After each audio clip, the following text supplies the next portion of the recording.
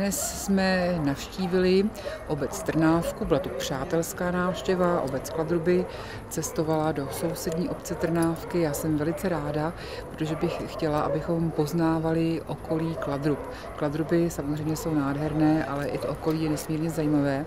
Já bych při této příležitosti také velice chtěla poděkovat panu starostovi, panu Valentovi, paní Troce Škopkové a panu faráři, že nás provedli po své krásné obci, že jsme objevili místa, která jsme absolutně neznali, eh, že jsme se mohli podívat do kostela, že jsme se seznámili i s farou, ze školou, se hřbitovem a s krásným romantickým rybníčkem.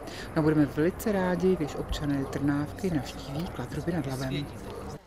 Naše vycházka začala eh, v kostele, kde nám pan farář představil kostel, jeho historii, provedl nás po hřbitově, kde nám ukázal různé eh, pomníky, které jsou tam z předešlé doby.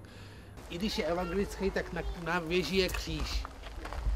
A v tom kostele je oltář s obrazem, zatímco ještě byla druhá evangelická církev, to třeba i kostel ve Chvaldicích, říkalo se reformovaná a ty měli zásadu, že žádné obrazy, čili tam nemají tyhle ty oltáře a žádné kříže, čili zase, když je na věži nějaký kohout nebo korohvička nebo nějaká taková ten sudlice nebo něco, tak to je kostel reformovaný, ale pak se ty dvě církve sloučily a dneska je to, prostě my říkáme evangelický kostel, pak tady jiný není.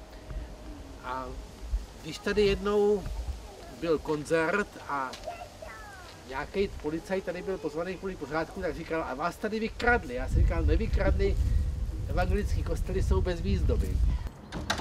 Dále jsme vyrazili na procházku okolo budovy staré školy, kde jsme se na chvíli zastavili, prohlídli staré fotografie. Z budovy staré školy jsme prošli obcí k dětskému hřišti, který jsme před léty zbudovali a následně jsme pokračovali vycházku kolem místního rybníka. Procházka byla zakončena na hřišti v ráji, kde se konají různé kulturní akce. Následovalo malé občerstvení v místním pohostinství.